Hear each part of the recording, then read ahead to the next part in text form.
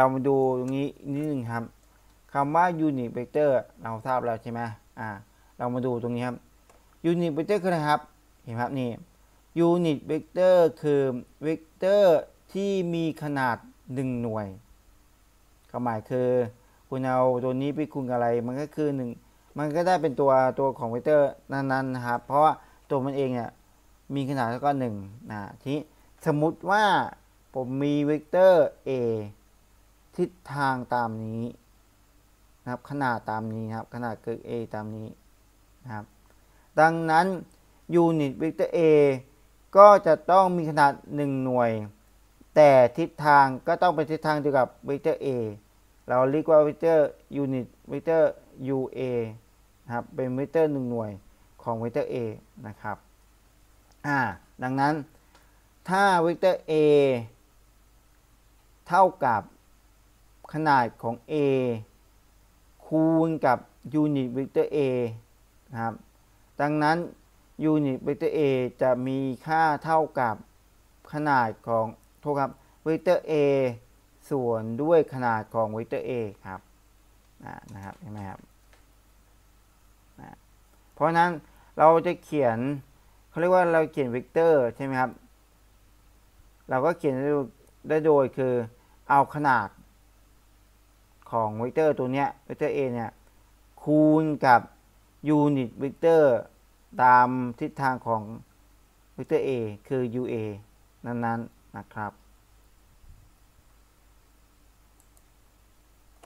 นี้ถ้าอยู่ในรูปของ Cartesian unit vector คืออะไรครับ ก็คือเวกเตอร์1หน่วยหรือ unit vector ตามแกน x y และ z ในที่เนี้ยมันจะมีตัวที่มันเป็นตัวเขาแบบระบุไว้เลยคือ ถ้าเป็นตามแกน x เราให้ unit vector คือ i ตามแกน y เราให้ unit vector เป็น j และตามแกน z เราให้ unit vector คือ k นะครับ อันนี้ระบุได้เลยครับคือ i j k นี่คือ unit vector ตามแกน x y z ตามลำดับนะครับ อ่า โอเค เพราะฉะนั้นถ้าเราจะเขียนเวกเตอร์ a ที่อยู่ใน อ่า เห็นไหมครับ อยู่ในแกนใดๆดังรูปนี้นะครับ ที่อยู่ในระนาบ x y และแกน z นะครับ เราจะเขียนเวกเตอร์ a ให้อยู่ในรูปของ Cartesian vector ได้เป็นเวกเตอร์ a เท่ากับขนาดของเวกเตอร์ a นะครับขนาดของเวกเตอร์ a คูณกับ unit vector ตามแกน x นั่นคือ i นะครับบวกกับขนาดของเวกเตอร์ a ตามแกน y คือ ay คูณกับ unit vector ตามแกน y นั่นคือ j และบวกกับขนาดของเวกเตอร์ a ตามแกน z นั่นคือ az คูณกับ unit vector ตามแกน z คือ k นะครับ ดังนั้น unit vector a จะมีค่าเท่ากับขนาดของเวกเตอร์ a ตามแกน x i บวกกับขนาดของเวกเตอร์ a ตามแกน y j บวกกับขนาดของเวกเตอร์ a z ตามแกน k นะครับเรียกย่อว่า ขนาดของเวกเตอร์ a จะมีค่าเท่ากับ a x i บวก a y j บวก a z k นะครับ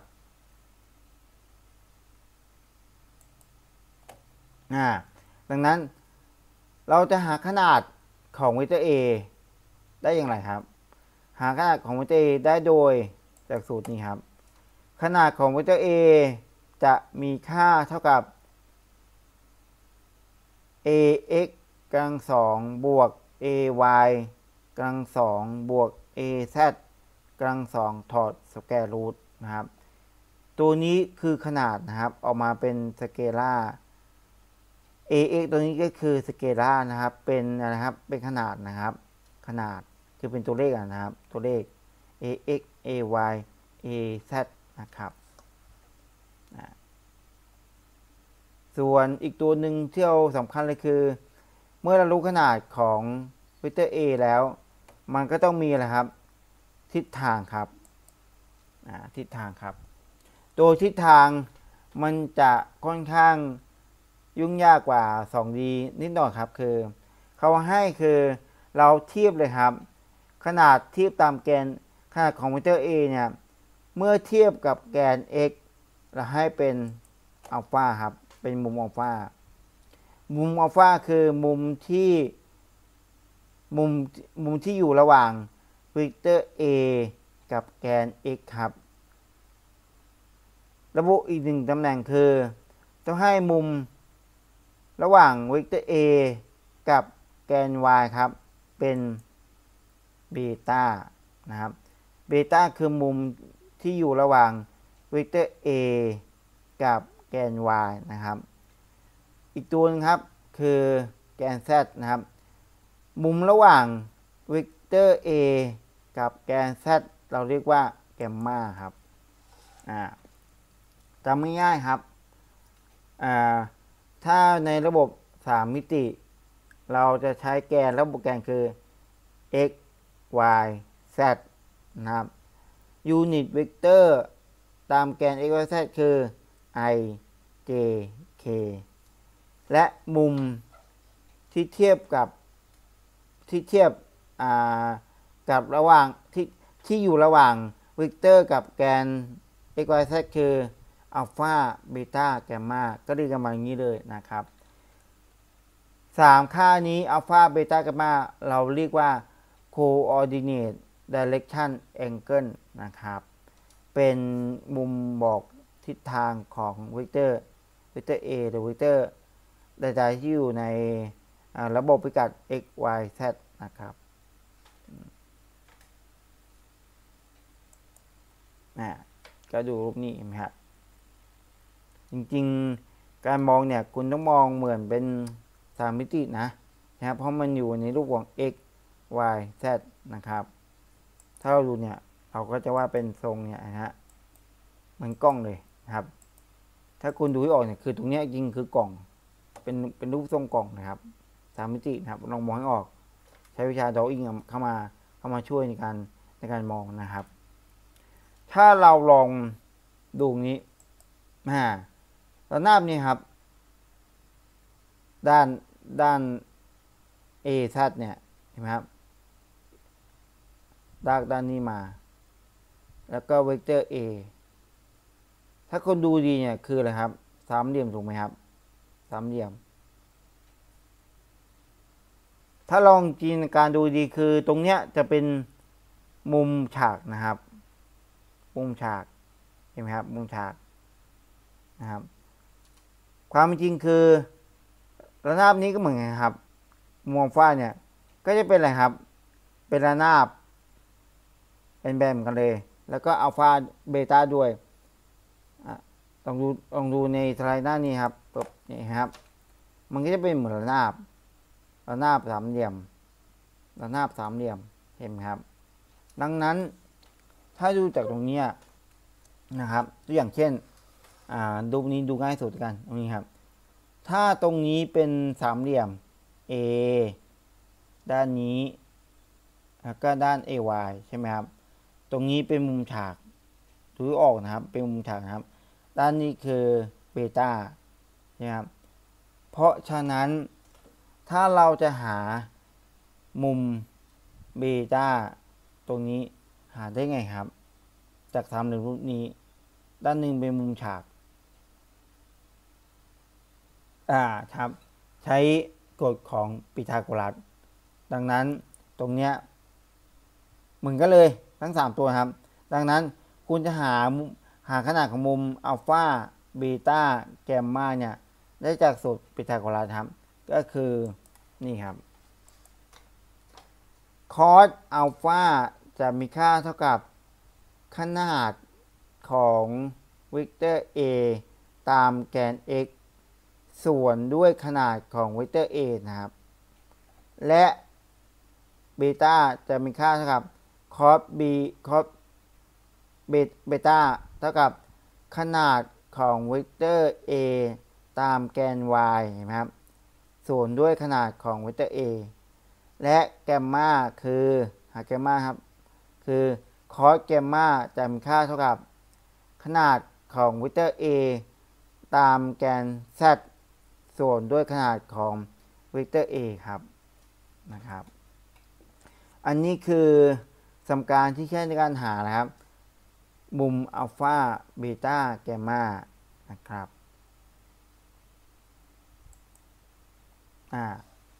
จากตรงนี้ถ้าเรารู้แล้วว่า cos อัลฟาเท่ากับ ax ส่วน a cos เบต้าเท่ากับ ay ส่วน a และ cos แกมมาเท่ากับ az ส่วน a ดังนั้นนะครับ เรารู้แล้วว่าเมื่อกี้นี้ ua คือ unit vector a เท่ากับเวกเตอร์ a อันนี้คือเวกเตอร์ a ครับ ส่วนด้วยขนาดของเวกเตอร์ a อันนี้คือขนาดนะครับ จะมีค่าเท่ากับอ่าเราก็แทนอะไรครับ แทน Cartesian vector ของ a เข้าไปก็คือ axi บวก ayj บวก azk แต่ทั้งหมดเนี่ยมาส่วนอะไรครับ ส่วนด้วยขนาดของเวกเตอร์ a คุณก็เอาไปส่วนทั้งหมด ส่วนทั้งหมด ส่วนทั้งหมด ถูกไหมครับ ดังนั้นที่พจน์หน้าพจน์ i จะเป็นอะไรครับ ax ส่วนด้วย a คือขนาดครับ ขนาด ax ส่วนด้วยขนาดของ a ตรงนี้คืออะไรครับ นี่ครับ cos อัลฟาอ่า ดังนั้นทำลองดูกันครับ หน้า j ก็จะเป็นอะไรครับ cos เบต้าหน้าพจน์ k คืออะไรครับ cos แกมมาเอาไปแทนอ่าเห็นไหมครับ ดังนั้นยูนิตเวกเตอร์ a จะมีค่าเท่ากับ cos อัลฟา i บวก cos เบต้า j บวก cos แกมมา k ครับ อ่า นะครับ ผมจะหาขนาดของยูนิตเวกเตอร์ a มีค่าเท่าไหร่ครับ คุณหาขนาดของ unit vector มันคือ 1 เพราะฉะนั้นขนาดก็คือ 1 ครับ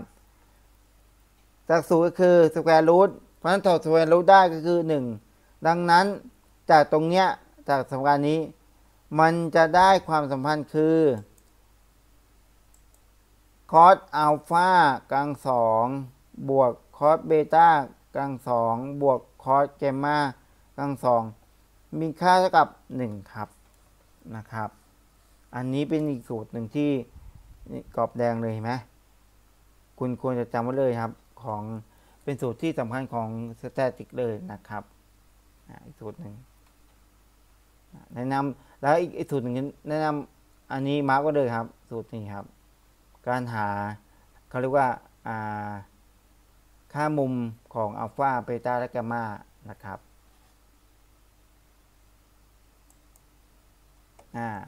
ดังนั้นจากตรงนี้ทั้งหมดทั้งมวลเนี่ยถ้าจากนี้ไปเนี่ยเวลาเราจะเขียนครับขนาดของอ่าอ่าเขียนในอ่าเวกเตอร์ A ให้อยู่ในรูปของ Cartesian vector เนี่ยเราก็จะเขียนในเขียนเวกเตอร์ A เนี่ยให้อยู่ในรูปของ axi บวก ayj บวก azk และ มุมต่างๆครับที่ทำเนี่ยก็จะเป็นอัลฟาเบต้าแกมมานะครับตามนี้เลยนะครับ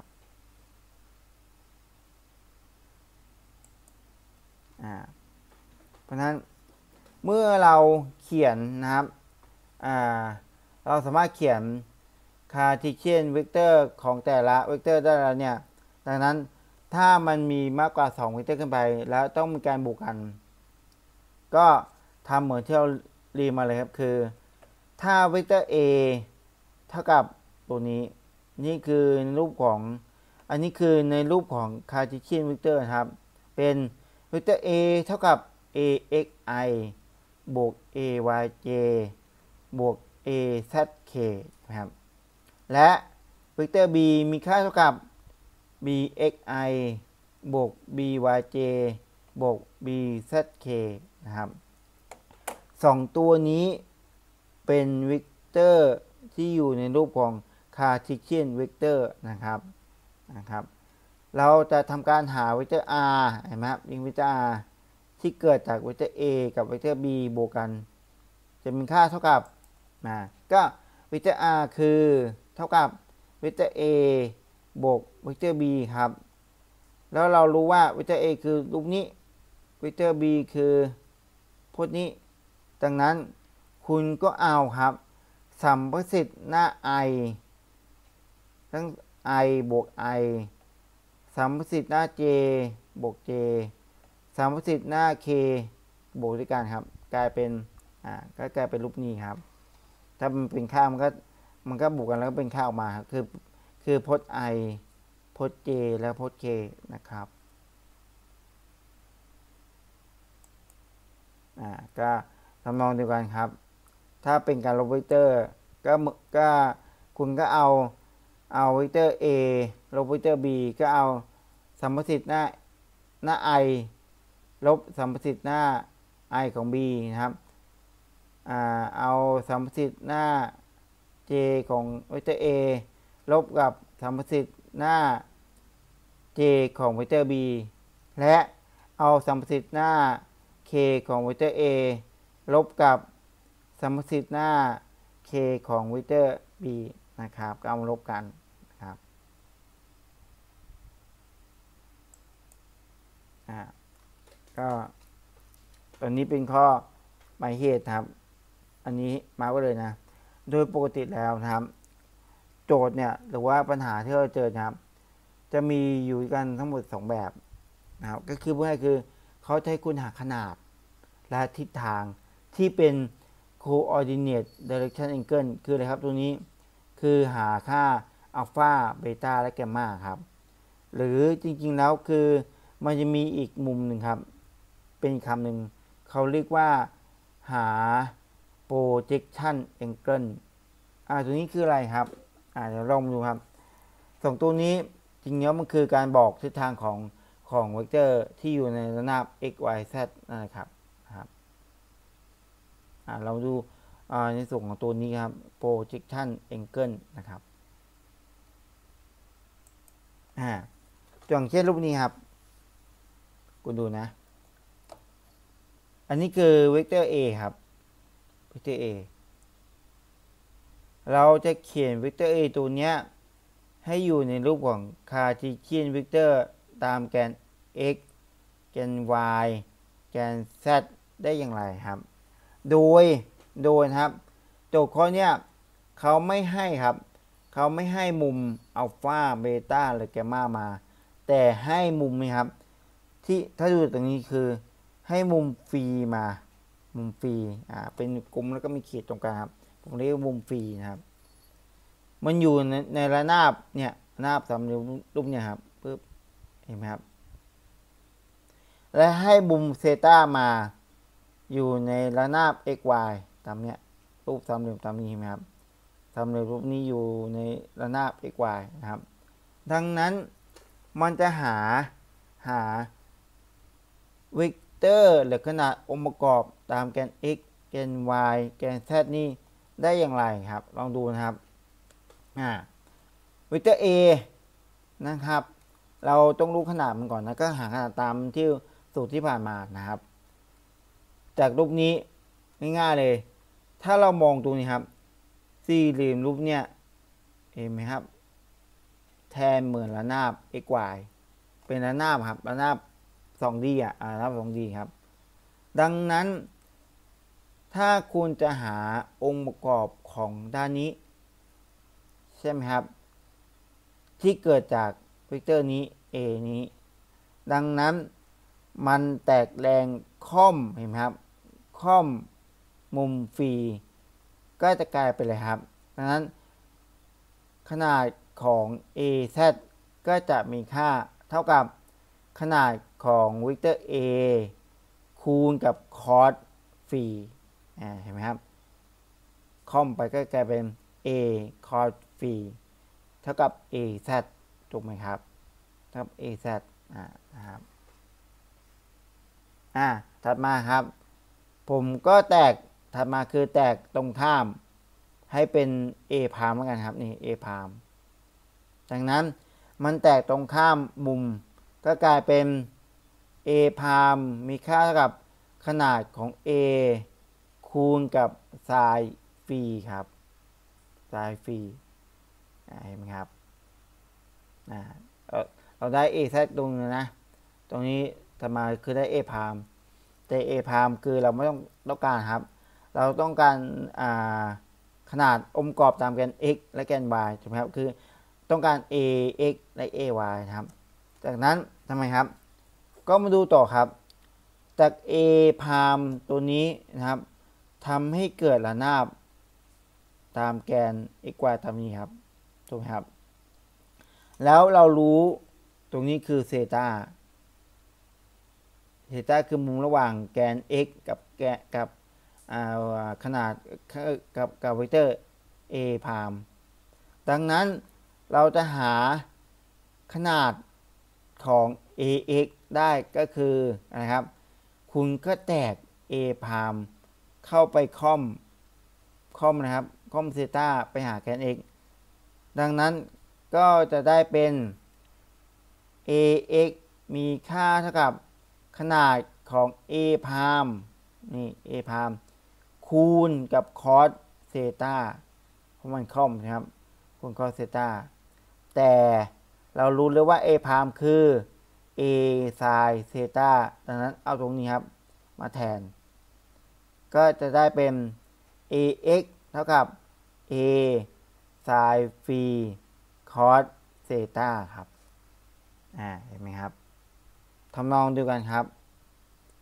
เราแตกเราแตกตรงนี้ ไปหาแกน y มันตรงข้ามกับมุมใช่ไหมครับ ดังนั้นก็จะเป็น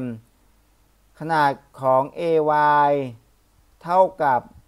ขนาดของ a พามคูณกับไซน์เซตาใช่ไหมครับ แต่ a พามเท่ากับ a ไซน์ฟรี ดังนั้น ay มีค่าเท่ากับ a ไซน์ฟรีไซน์เซตาใช่ไหมครับ ดังนั้นเราได้ขนาดตามแกน x y z แล้วคือ ax ay az คุณก็เขียน Cartesian vector ของเวกเตอร์ a ได้เป็นตามนี้ครับ อันนี้คือ อันนี้คือเราสามารถคือ เขาเรียกว่า แตกมุมที่อยู่ในรูปของ projection angle ครับ projection คือมุมฉายครับลงไปหาระนาบต่างๆนะครับนะมันมีสองวิธีนะครับ ก็ลองลองลองศึกษาดูนะครับ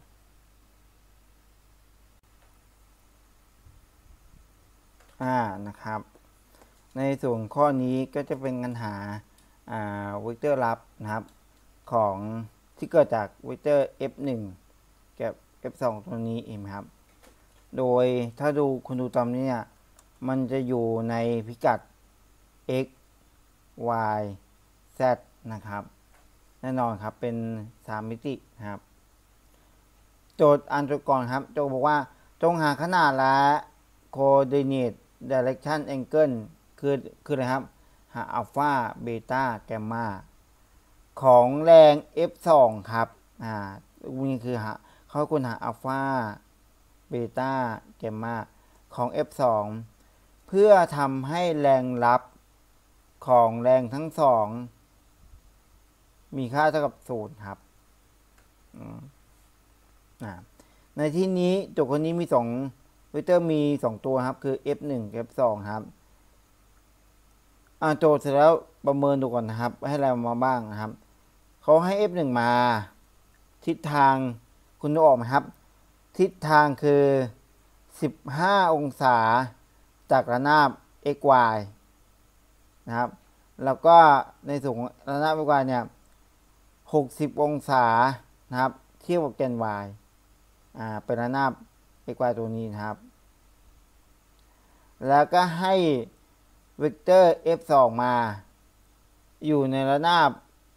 ไม่อยู่นะครับ อยู่ในพิกัดนี้ โดยทำมุมตามแกน x แกน y แกน z คืออัลฟา2เบต้า2และแกมมา2ครับนะครับ เพราะฉะนั้นโจทย์เขาต้องการจะหาคืออัลฟาเบต้าแกมมาและขนาดของ f2 ตัวนี้ด้วยครับ โดยให้ โดยให้ค่าขนาดและมุม ของ f1 มาดังรูปนะครับเพราะฉะนั้นเมื่อจทย์เสร็จแล้วทีความหมายจะเป็นอะไรครับ ตรงนี้ระบุเขาระบุว่าเพื่อทำให้แรงรับของแรงทั้งสองมีค่าเท่ากับศูนย์ดังนั้นแรงรับคือความหมายคือ Fr มีค่าเท่ากับ frxi บวก fryj บวก frzk ตรงนี้คือ Cartesian vector ของเวกเตอร์ fr ถูกไหมครับ มีค่าเท่ากับศูนย์ความหมายศูนย์ก็คือสัมประสิทธิ์หน้า i ก็ต้องเป็นศูนย์ frx เป็นศูนย์ fry เป็นศูนย์ frz เป็นศูนย์ครับ อ่าแล้วความหมายของของโจทย์เนี่ยมันคือตัวนี้นะครับไปเขียนเป็นรูปนี้ไปก่อนนะครับ อ่านี้ขั้นตอนสำคัญคือ คุณก็ต้องขั้นตอนแรกครับ คุณก็ต้องเขียนครับวิกเตอร์ f1 เวกเตอร์ f2 พวกเนี้ยให้อยู่ในรูปของ Cartesian vector ก่อนครับนะครับนี้เรามาดู f1 ก่อนนะครับ f1 โจทย์ให้ได้มาครับขนาดเห็นไหมครับ f1 ขนาด 180 นิวตัน ดังนั้นทำไมครับ ทิศทางตามนี้ ดังนั้นคุณต้องหาองค์ประกอบของ f1 ตามแกน x ตามแกน y และตามแกน z ครับ ให้ได้เอาก่อนให้ได้ออกมาก่อนนะครับ หายังไงครับ อ่าลองดูนี่ครับ นี่เอาหา f x r f 1 x f 1 y ใช่ครับ และ f อ่า1 z ตรงนี้อะ f 1 x f 1 y f 1 z ถ้าดูจากรูปนี้ คือมันน่าจะไปทางบวก f 1 x คือไปตามแกนบวก x นะครับ f 1 y นี่ไปตามแกนบวก y และ f 1 z นี่ทิศทางชี้ลงคือไปตามแกนลบ z นะครับ ลบ z นะครับนี้จะมาหาขนาดหาได้ไงครับ ตัวนี้การหาขนาดตัวนี้ มันน่าจะใช้วิธีการของอะไรครับ projection angle นะครับ คือเป็นการการฉายและการแจกแรงเข้าหาระนาบข้อมข้อมข้อมมุมแล้วก็ตรงข้ามมุมใช่ไหมครับ ดังนั้นในตัวแรกก่อนครับนะเรารู้ว่าตรงนี้คุณเห็นไหมครับ ตรงนี้เขาให้มุมมาสิบห้าดังนั้น เราแตกแรง F1 ฮะเข้าหาระนาบ xy ได้เป็น ร้อยแปดสิบคอสสิบห้ามันคอมใช่ไหมครับ แตกแรงคอม ก็ต้องเป็นร้อยแปดสิบคอสสิบห้าถูกไหมครับจะหาตัวแรกก่อนครับ คือ f1x ตัวนี้คือ f1x ทำไมครับตัวนี้ณตอนนี้ 180 คอส15 อยู่ในระนาบ x y แล้วเห็นครับ สี่เหลี่ยมนี้ x y แต่ตรงนี้มาเรารู้ว่ามุมตรงนี้คือ 60 มุมนี้คือมุมระหว่างเวกเตอร์นี้กับแกน y ดังนั้นถ้าเราจะแตกแรงไปหาแกนแกน x ก็จะเป็นอะไรครับ เป็นสายนะครับ เป็นสายก็คือร้อยแปดสิบคอสิบห้าไซน์หกสิบเท่ากับ f หนึ่ง x เห็นไหมครับร้อยแปดสิบคอสิบห้าไซน์หกสิบ i อ่าตรงนี้ไอตรงนี้คือ f หนึ่ง x อยู่แกน x ก็ต้องอยู่เป็นเป็นพจน์ของ i ถูกไหมครับพจน์ของ i อ่าอันนี้คือเวกเตอร์ f 1ครับเห็นไหมเวกเตอร์ f 1เท่ากับ f 1 xi โดย f 1 x มีค่าเท่ากับ180 cos 15 sin 60น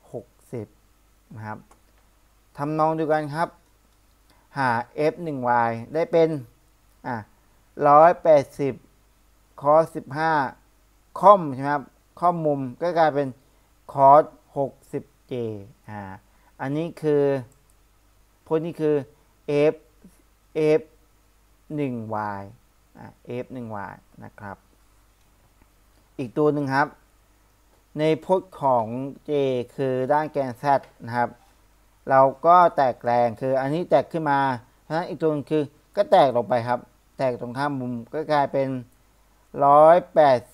180ไซน์15 แต่ว่าทิศทางลงก็ต้องเป็นนะครับ เป็นลบนะครับ ก็กลายเป็นลบ 180ไซน์15 k เห็นไหมครับ ตรงนี้คือ Cartesian vector ของ f1 คุณก็จัดการกดเครื่องคิดเลขคุณกันซะก็จะได้เป็น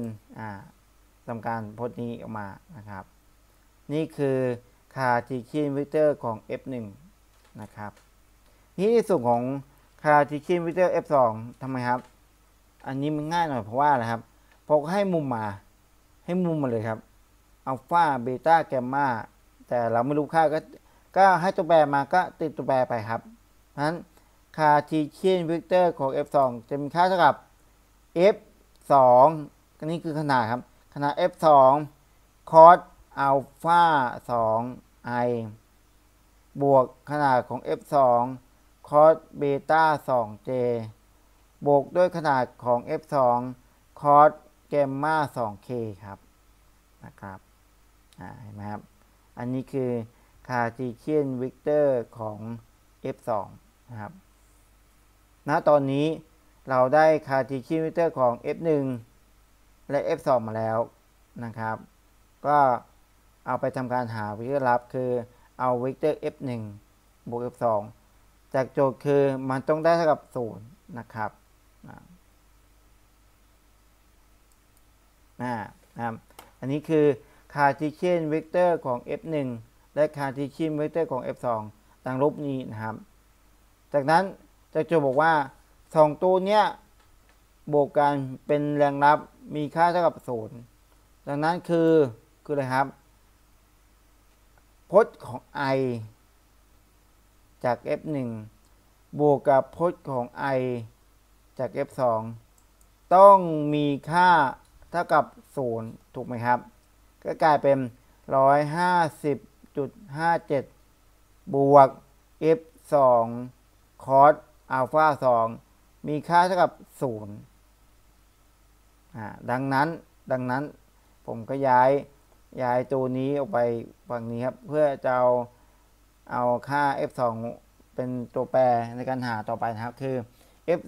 2 cos อัลฟา2เท่ากับ 100ลบ150.57 อันนี้คือแรงตามแกน x นะครับสัมพัทธ์ตามแกน x ทำนองเดูกันครับ อมกระกอบตามแกน y ตรงนี้ใช่ไหมครับ